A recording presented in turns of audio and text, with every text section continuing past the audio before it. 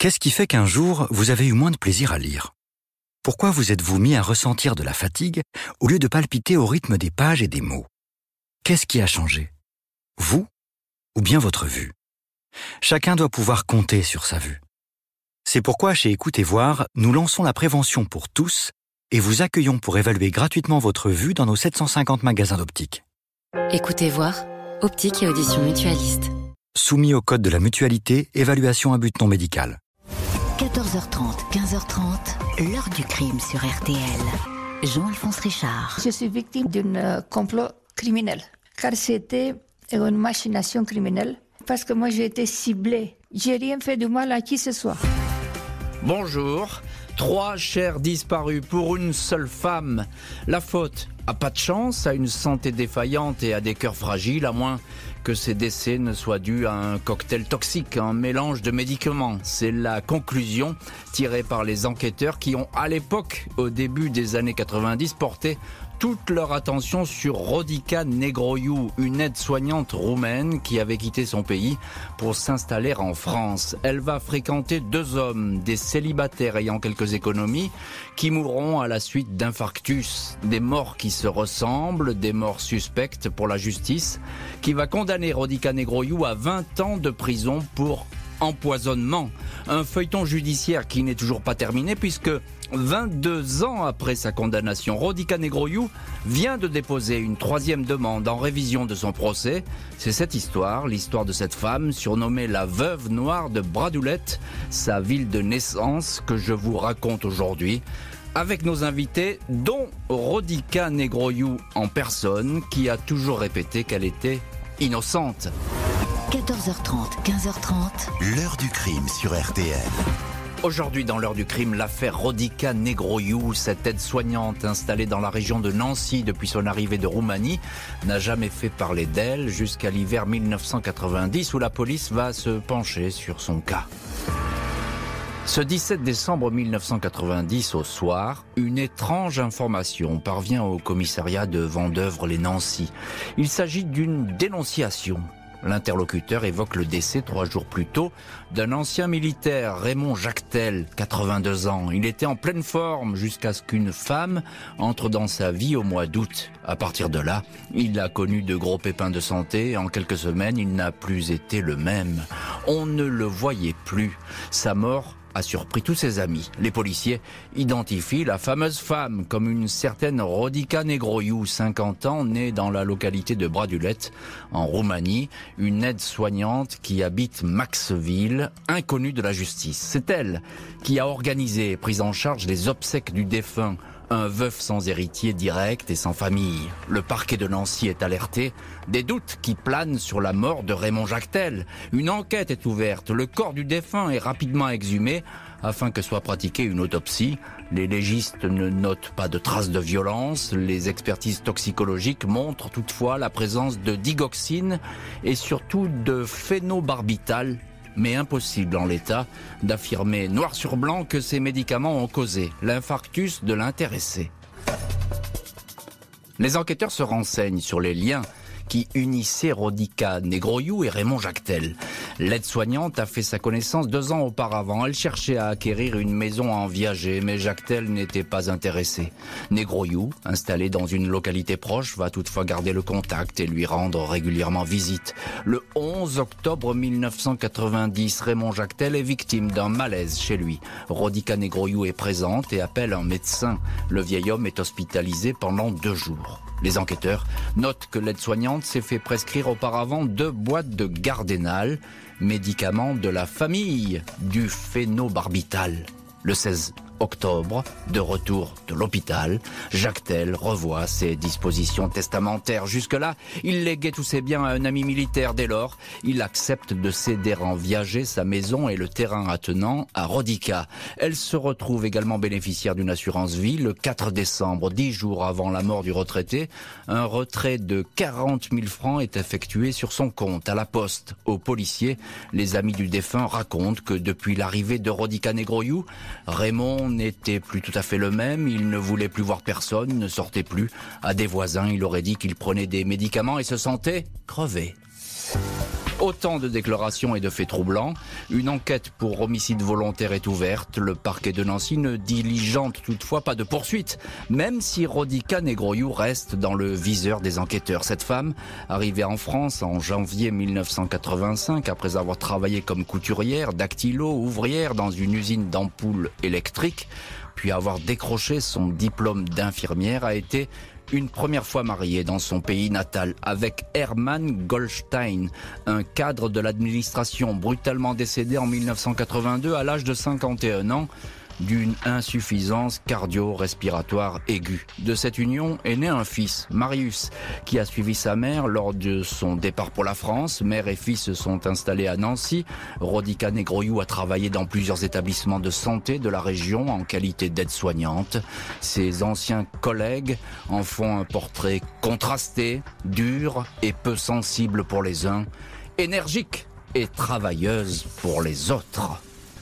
Les enquêteurs s'interrogent sur la mort de Raymond Jactel. Ils sont intrigués par le décès du premier mari, Hermann Goldstein. Ils vont désormais s'intéresser à la disparition du deuxième mari, un Français, Gérard et lui.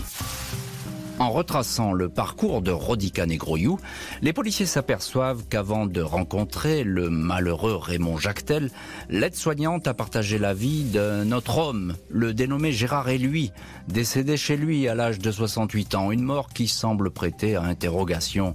Rodica a rencontré Gérard, veuf et retraité, en octobre 1985. Le couple s'est très rapidement marié.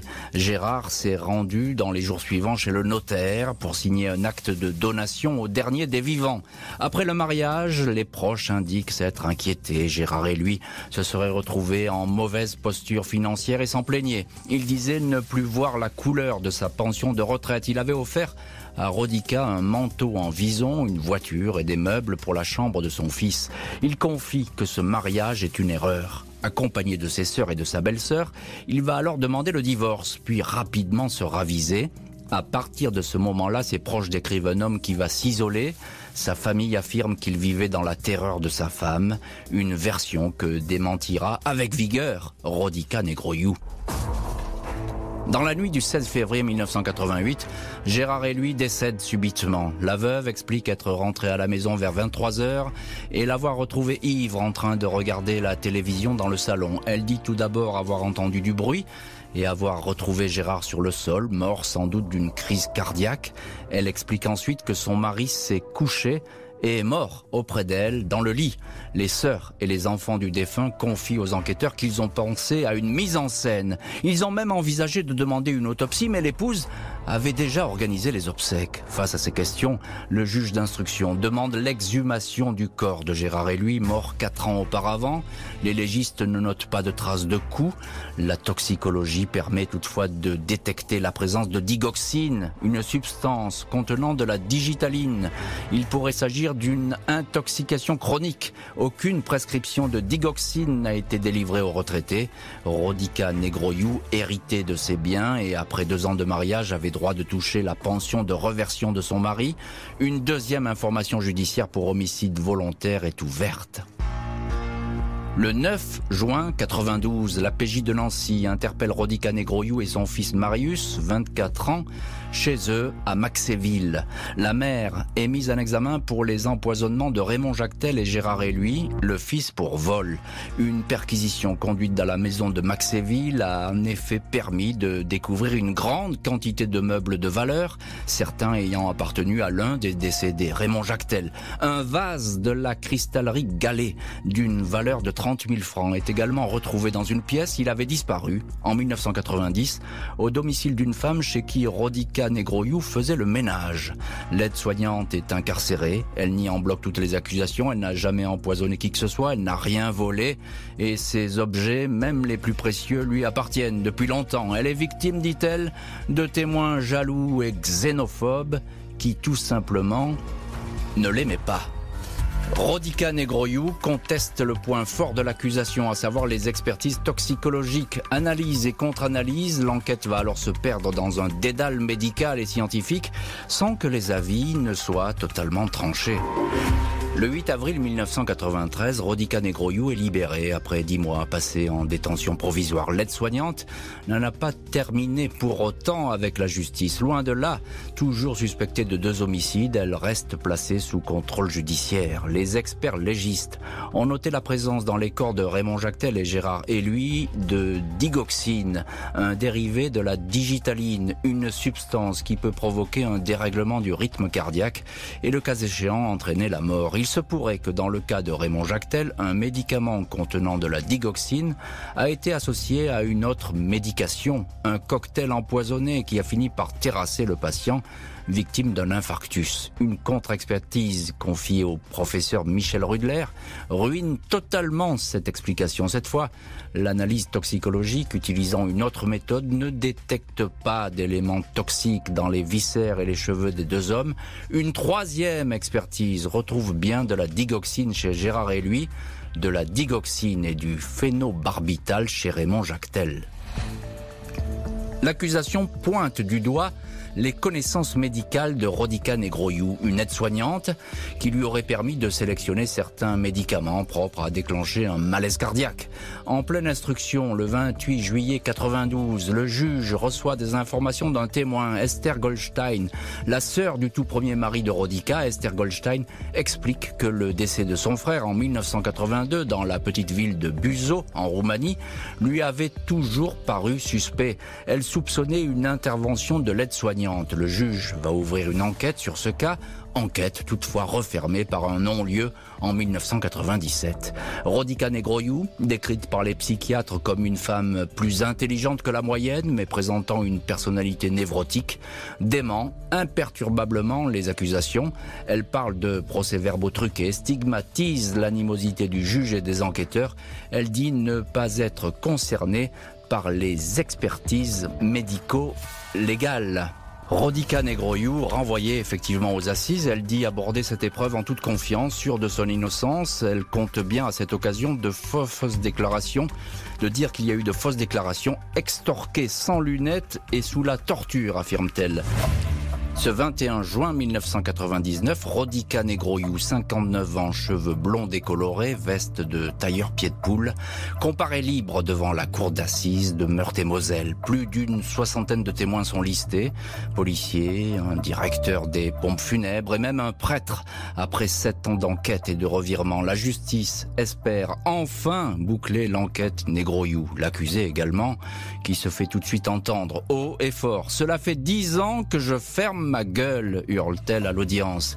Elle dit s'être retrouvée dans une cage lors de sa détention provisoire, affirme avoir été défigurée après avoir été battue au passage. Le directeur de la maison d'arrêt de Nancy est qualifié de SS.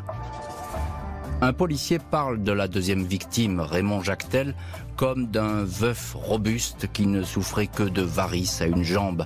Il rappelle que c'est à Madame Negroyou qu'avaient été prescrites deux boîtes de Gardénal, le principe actif du phénobarbital. À propos de Gérard et lui, Mon Gérard, comme elle l'appelle, radical lors des audiences, les yeux embués de larmes, un enquêteur indique que l'accusé a tout fait pour l'isoler.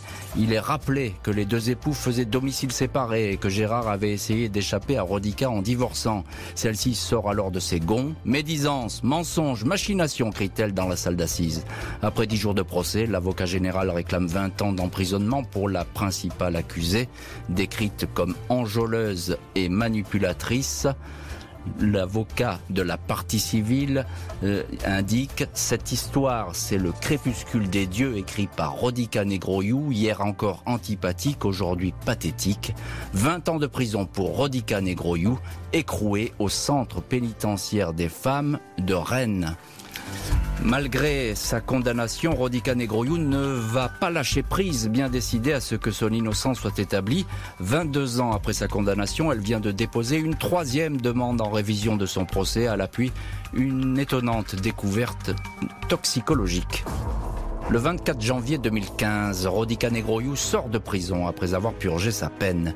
Alors qu'elle était incarcérée, elle a déposé deux demandes de révision de son procès, toutes deux rejetées.